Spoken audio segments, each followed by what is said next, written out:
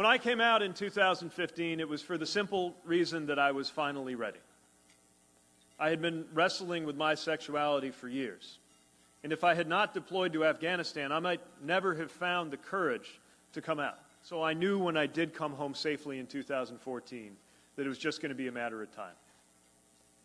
Inconveniently, that time came in the middle of my reelection campaign.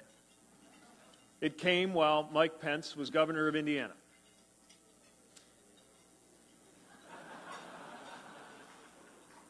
And since there had never been an out elected executive in our state, no one was sure what the effect would be on my future.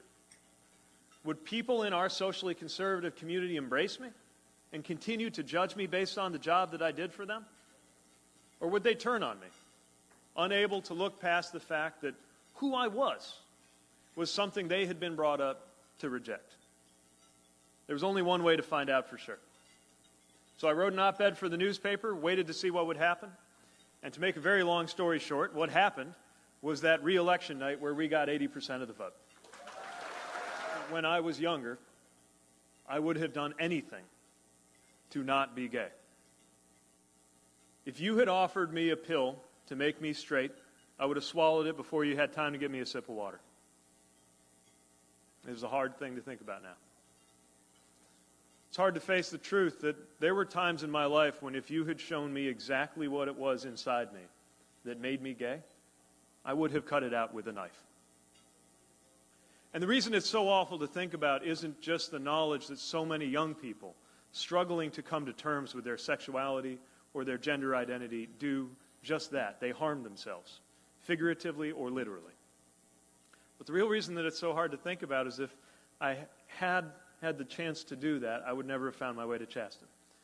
Thank God there was no pill. Thank God there was no knife.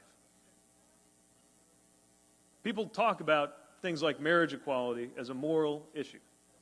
And it is certainly a moral issue as far as I'm concerned. It's a moral issue because being married to Chasten has made me a better human being. Because it has made me more compassionate, more understanding, more self aware, and more decent. My marriage to Chasten has made me a better man. And yes, Mr. Vice President, it has moved me closer to God. I can tell you that if me being gay was a choice, it was a choice that was made far, far above my pay grade.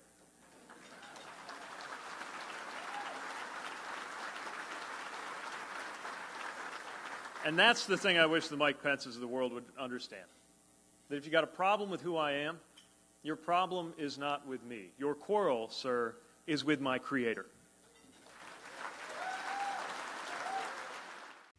Hey, NBC News viewers, thanks for checking out our YouTube channel. Subscribe by clicking on that button down here and click on any of the videos over here to watch the latest interviews, show highlights, and digital exclusives.